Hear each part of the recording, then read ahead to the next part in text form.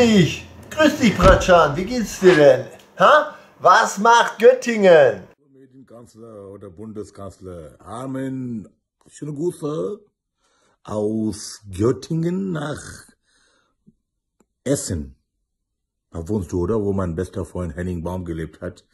Schöne Grüße aus Göttingen und ich bin, was, äh, was mache ich gerade? Sehr beschäftigt, was? Bier, das war nur ein Scherz. Äh, Das ist mein Lieblingsbier. Übrigens Astra. Da wir haben gemacht in Hamburg. Hat mega Spaß gemacht. Also, ähm, ich grüße dich ganz herzlich. Amen. Bundeskanzler oder Medienkanzler oder keine Ahnung. Ich ähm, bin bald bei dir im Studio. Zwar, du bist one and all.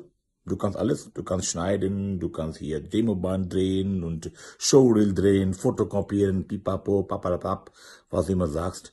Wir sehen uns bald in Essen. Da gibt es bestimmt auch was Essen, oder? Hallo, Praschant. Was machst denn du in Hamburg? Meine lieben Freunde und Fans von Facebook, Instagram, mein guter Freund mittlerweile, Armin, der Medienkanzler aus Essen, hat ratzfatz einen Franchant Fanclub gegründet. In Minuten. Und ich freue mich sehr, dass ihr auch dabei seid. Ich grüße euch aus Hamburg. Von St. Pauli hier habe ich auch eine Plakatwerbung für Astra Bier gemacht. Wolle Dosa kaufen.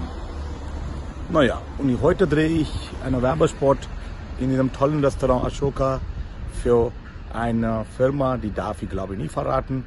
Aber ich grüße euch aus Hamburg. Moin, moin. Ich wohne in Göttingen und ich freue mich, dass ihr eure Kommentare schreibt auf meiner Fanseite, Instagram und auf meiner richtigen Seite. Ich habe euch lieb. Ist eure Prashant. Schöne Grüße, Armin, nach Essen. Ciao, ciao. Es macht tierisch viel Spaß, mit Prashant zusammenzuarbeiten und ihn als guten Freund zu bezeichnen.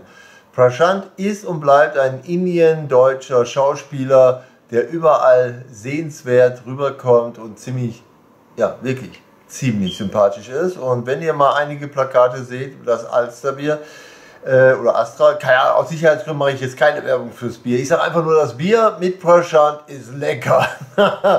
Besonders das Riesenplakat, worauf er zu sehen ist.